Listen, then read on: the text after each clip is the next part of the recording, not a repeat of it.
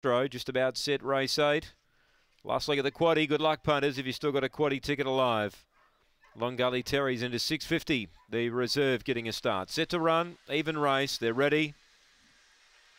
Racing, Peter Thief began only fairly. Speed Rusty Fury looks to head off Winsome Bailey. Winsome Bailey drives hard and keeps it out though. And they're about a length clear now. Back in third placing, Peter Thief. The rail came Oakvale Astro. Right around them, Emily Judge starting to stoke up. For the back, Peter Thief shifted back then uh, from Woodworm and deep out Long Gully Terry. Off the back, it's Winsome Bailey, three clear. Charging after it, Oakvale Astro's a big danger. Then came Emily Judge. Leader still is Winsome Bailey. Oakvale Astro going to it, but missing missing. Winsome Bailey defeated Oakvale Astro and Emily Judge. Fourth placing Rusty Fury, the rank outsider. Then Peter Thief, Long Gully Terry, and Woodworm back at the rear. The times 30 and 30. Number one, 30 and 28, Winsome Bailey. Number one, Tony Rasmussen.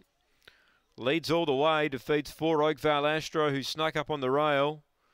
It's gone down, Bobby, by about a half.